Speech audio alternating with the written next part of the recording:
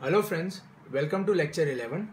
In previous lecture, lecture 10, we saw that how primality testing fails and to overcome that we would be learning Miller-Rabin test. So in this lecture 11, we are going to learn about Miller-Rabin test. Alright.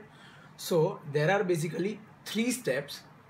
Whenever you are given any equation, first of all you would be solving is n minus 1 is equal to m into a raised to k. It is m. Alright.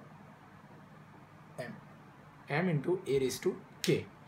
Step 2 is calculate t which would be equal to a raised to m a raised to m mod n and the third step is for p is equal to 1 to k minus 1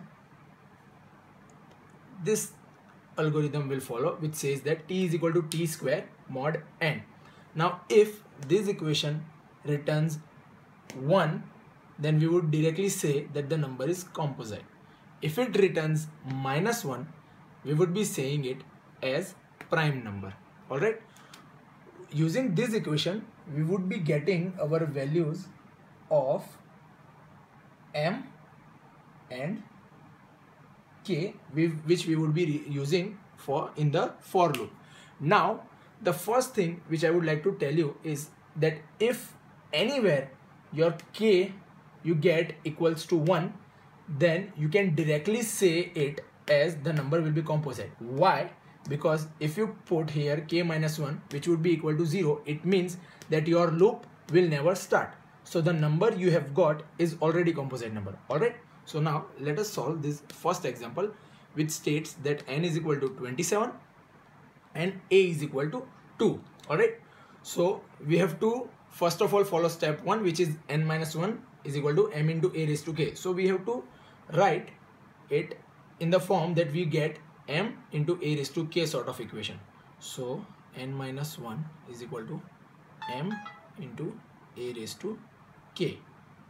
27 minus 1 is equal to m into a raised to k. So 26 is equal to m into a raised to k. Now 26 we can write it as 13 into 2 raised to 1 m into a raised to k. So we can directly relate that m will be 13 and our k will be 11. So m is equal to 13, k is equal to 1. So as I told you that whenever you get your k equal to 1, you can directly say that the given number is a composite number. So here n is composite which we can clearly see because 27 is a composite number now let us move to another example where we get where we will be getting k as some another value alright? So let us move to another example. Now in this second example we have data as n equal to 61 and a equal to 2 so according to step 1 n minus 1 is equal to m into a raised to k. So 61 minus 1 is equal to m into a raised to k. So 60 is equal to m into a raised to k. Now we can divide it in the form of 15 into 2 square. 15 fours are 60 right? m into a raised to k. So we can clearly see that we got our m we got our k. So m is equal to 15 and k is equal to 2 alright so now using these two values we would be finding step number 2 which is t so T is equal to A raised to M mod N. So A is 2, M is 15, mod 61, right? So as we taught you how to factorize and solve this sum, we would be getting our answer T equal to 11 now in for loop we would be having from p equal to 1 to p equal to k minus 1 so here our k is 2 so 2 minus 1 is 1 right so only one time it states that only one time this loop will be iterating.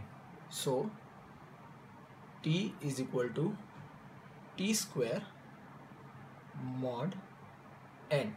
T we have got as 11 so 11 square mod 61 now if you solve this again with the modulus formula using calculator which we have taught you you would be getting your answer as 60 right? So in this Miller-Rabin test we have to get our answer in the form of either positive one or negative one which is in our algorithm. So if this sort of number arrives so we have to minus or we have to use the equation as t minus n. Whenever we will be not getting our answer directly as either 1 or minus 1 so we would be using this equation. It means that 60 minus 61 which will be equal to minus 1 so according to our equation if t is equal to minus 1 it returns prime so it says that here n is a prime number. So 61 is a prime number. All right? So this was all about miller rabin test. Thank you